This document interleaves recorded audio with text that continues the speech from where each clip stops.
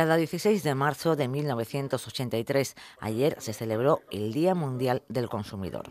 Fue el presidente de los Estados Unidos, Kennedy, el que habló por primera vez de los consumidores como un grupo económico con poder de decisión.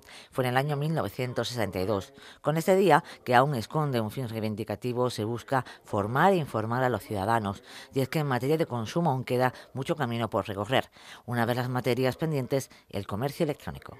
Queda mucha defensa y sobre todo hay, mucha estafa a través del comercio electrónico y lo que es la protección online en las páginas donde consumimos cada vez todo, cada vez más, pues todavía hay mucha materia que trabajar.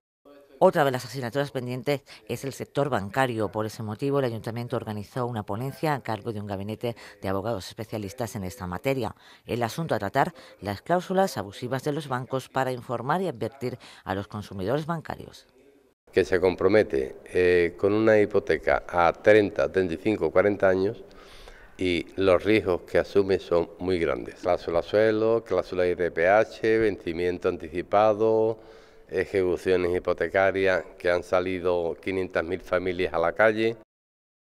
En un día como este cabe recordar la importancia de que todos los consumidores conozcamos nuestros derechos para defenderlos y hacerlos valer en el mercado de consumo.